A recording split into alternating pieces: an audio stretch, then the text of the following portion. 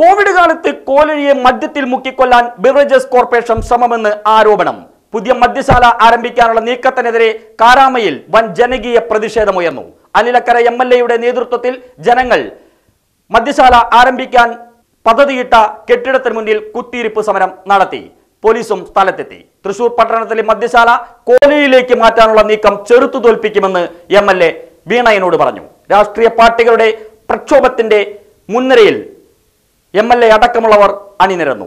പ്രക്ഷോഭമറിഞ്ഞ് മദ്യവുമായി കോലയിലേക്ക് തിരിച്ച ലോറി പാതി വഴിയിൽ തിരിച്ചുപോയതോടെ പ്രക്ഷോഭത്തിനും സമാപനമായി.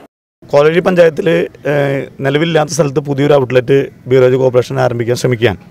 അപ്പോൾ നിലവിലുള്ള ഹൈക്കോടതി വിധി അനുസരിച്ച് ഈ നേരത്തെ ഈ പഞ്ചായത്തിൽ ചെറിയ വിഷയം ഉണ്ടായിരുന്നു. ഇതുമായി ബന്ധപ്പെട്ട് കൊട്ടേക്കാട് ഔട്ട്ലെറ്റ് തുടങ്ങുന്ന സമയത്ത് ഹൈക്കോടതി കൃത്യമായി പറഞ്ഞിട്ടുണ്ടായിരുന്നു. പഞ്ചായത്തിന്റെ ലൈസൻസ് ഇല്ലാതെ തുടങ്ങരുന്നുണ്ടായിരുന്നു അപ്പോൾ പഞ്ചായത്തിന്റെ ലൈസൻസിന് അപേക്ഷ കൊടുത്തിട്ട് മാത്രമാണ് ബീവറേജ് കോർപ്പറേഷൻ ഇപ്പോൾ തീരുമാനം അപേക്ഷ മാത്രമേ കൊടുത്തിട്ടുള്ളൂ.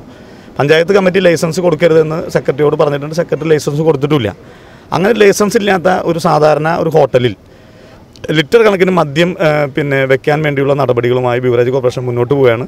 മദ്യം നിറച്ച ലോറി പാട്ടിരാക്കിൽ നിൽക്കുകയാണ്.